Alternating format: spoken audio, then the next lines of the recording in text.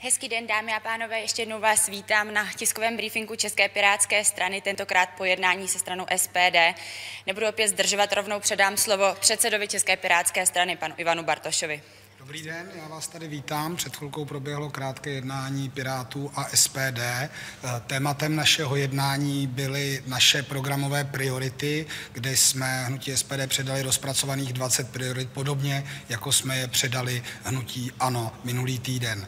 Dále jsme eh, hovořili o našem návrhu, aby opoziční strany usilovaly o kontrolu výboru poslanecké sněmovny, ne tedy podle klíče, které předložilo hnutí ANO, ale podle klíče, kdy skutečně opozice kontroluje vládu, která nemá v danou chvíli ve sněmovně podporu. Je to menšinová vláda nebo menšinová vláda doplněná o odborníky.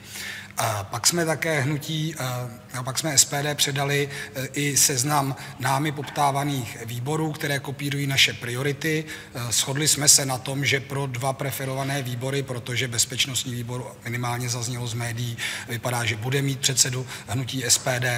Představili jsme tedy naše priority a i dva výbory, o které máme eminentní zájem, a to je výbor pro veřejnou zprávu a výbor pro životní prostředí. Od zastupitelů SPD zaznělo, že věří, že máme pro tyto výbory kompetence. Poslední věcí, na které jsme se shodli, je, že ani Piráti, ani SPD nebudou podporovat ani pasivním způsobem odejítím ze sálu vznik nebo menšinovou vládu eh, hnutí ANO, byť doplněnou odborníky. To je zhruba tak vše, co na tomto mítingu proběhlo. Děkuji panu předsedovi. Tak prostor pro vaše dotazy, pokud nějaké jsou. Česká televize televize. Jednali jste i s hnutím eh, SPD o eh, tom plánu, který tady, který už jste tady komentovali a který tady představili ony čtyři strany, onu eh, frakci tedy, se kterou chtějí do ustavující schůze. Řeklo hnutí SPD nějaký názor na to? My jsme, SPD už to zaznamenala i z médií, vznik této, vznik této této frakce. Eh, v podstatě eh, já jsem to vlastně na předchozím eh, briefingu komentoval. My jsme přišli se skutečným opozičním návrhem, protože v tuto chvíli jsou všechny strany definovány jako opoziční. Nikdo nevyjadřuje podporu menšinové vládě hnutí ANO.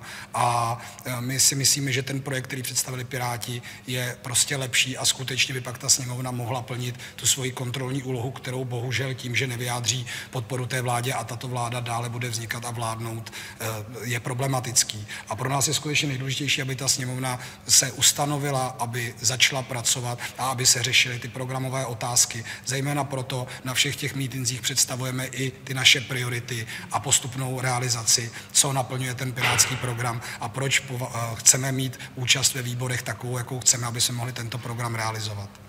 Děkuji. Ještě nějaké další dotazy? Česká televize ještě. Doplňující do, do, dotaz ohledně vedení sněmovny, místo předsedy. Eh, ten demokratický blok mluvil o tom, že by chtěl mít dva zástupce, což ať už budou čtyři místo předsedové nebo pět, asi neúplně vychází. Eh, nebo podpořili byste případně jejich dva kandidáty?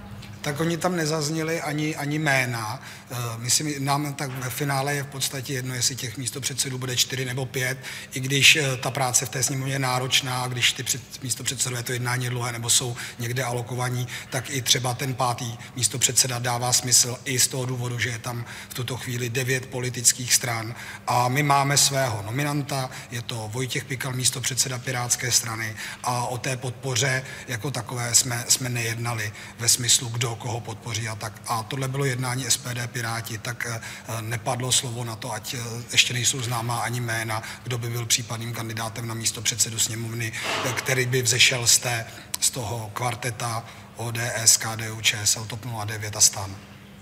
Děkuji. Ještě nějaký další dotaz? Tak pokud již nemáte dokaz, dotazy, děkujeme za pozornost. Předeme hezký den. Naschledanou.